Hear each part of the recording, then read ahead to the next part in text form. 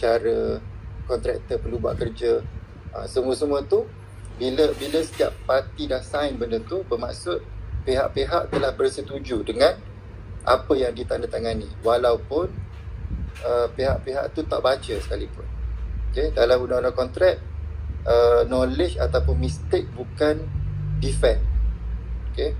bermaksud kalau contoh uh, kita sign kontrak nak beli rumah atau nak bina rumah and then kita kata tiba-tiba lepas tu kita claim oh kita tak tahu ada section ni. Sebab kita tak baca. Benda tu tidak akan diguna pakai oleh, oleh mahkamah atau undang-undang. Knowledge bukan defend bukan pembelaan kepada uh, kegagalan mematuhi kontrak.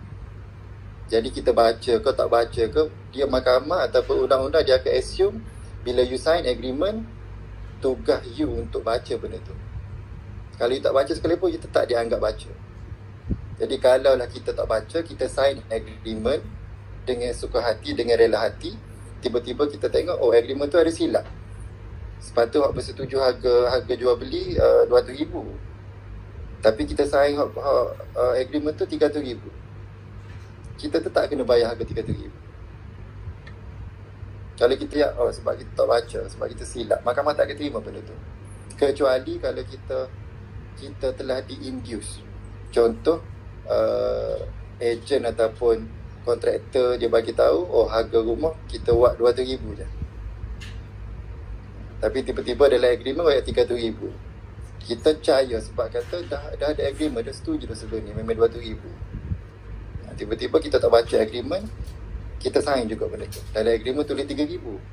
Ha, tu mungkin kita boleh guna defend tu sebab kita dah ada pre agreement sebelum tu bahawa memang agree, uh, memang telah di-induce ataupun di bukan dipaksa di apa ni diberikan maklumat yang yang lain lah daripada yang ditandatangani tu.